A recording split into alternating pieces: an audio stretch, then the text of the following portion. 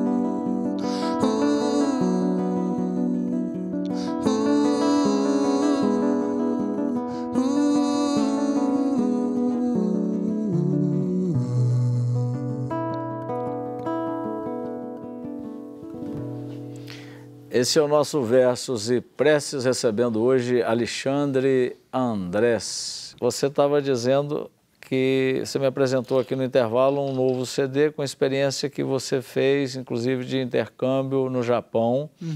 E essa canção está nesse, fez parte desses shows que você, desse É. show que você fez. Sim, é- esse CD, né, que eu tava te falando, ele chama Haru. É o Haru, É né? uma parceria minha com o Rafael Martini, que é um grande músico, é, pianista, compositor, arranjador incrível aqui de Belo Horizonte também, que tem um trabalho de música autoral também muito legal, muito bonito. E essa parceria nossa é um duo, né? Ele toca piano, é, efeitos, teclados, voz, e eu violão, voz, flauta com efeitos também, pedal de efeitos. E com composições nossas, né, dele, com parcerias dele com outros, com le- outros letristas, parcerias minhas com com Bernardo e também músicas dos dois, né? E aí você, aí você foi. Tem canção, tem música instrumental. né? Sim, e você e aí fomos levou- Uhum. para o Japão com esse disco.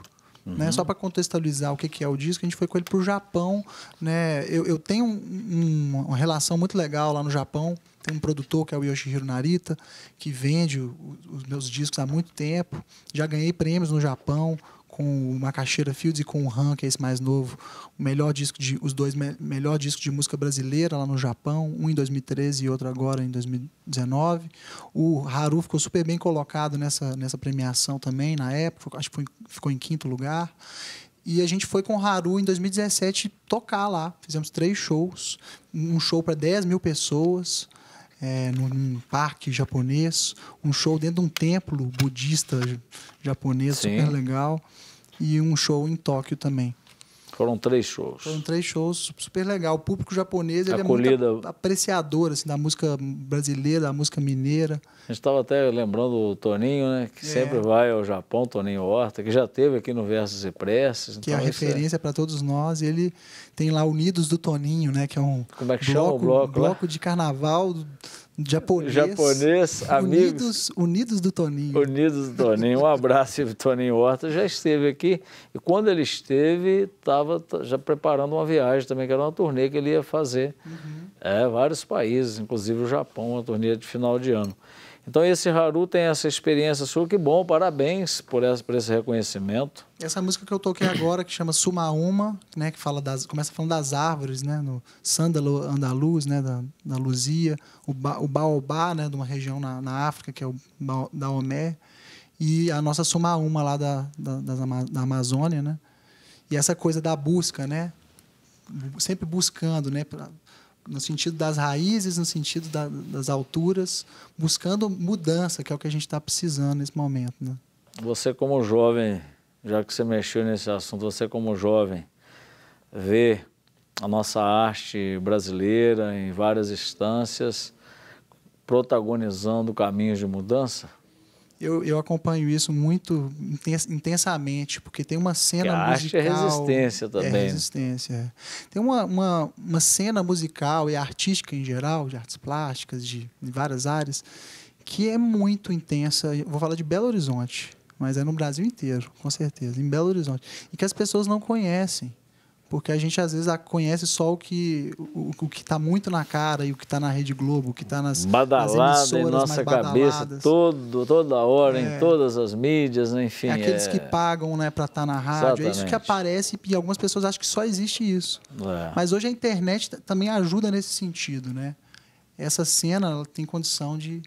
Eu quero desejar que você tenha muita força para continuar o seu caminho da boa música brasileira e é um caminho de resistência, né? Com certeza. Como eu digo para meus amigos e amigas artistas, de, dessa, dessa clareira aí que é, tem que pagar o preço e também não vender a alma. Uhum. Manter-se firme na, na defesa de uma arte que realmente liberta e compõe caminhos futuros bonitos para a gente. Com certeza. Nós estamos terminando o nosso programa, dá tempo de uma última canção, você vai escolher qual?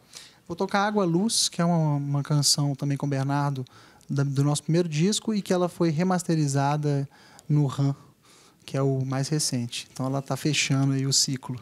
Muito obrigado, te desejo muito sucesso obrigado em 2020. Você, e a gente vai se vendo e acompanhando os trabalhos, tá bom? Sucesso para todos nós. Eu quero agradecer meu amigo e amiga e você aí de casa. Muito obrigado pela companhia que também Nossa Senhora, né, nossa padroeira, Mãe da Piedade, abençoe você, sua família. Ainda, ainda dá tempo de dizer que estamos começando mais um ano, que ele seja realmente como essa arte que nós ouvimos hoje, é algo bom para construir a nossa vida. Uma boa semana e até domingo que vem, se Deus quiser.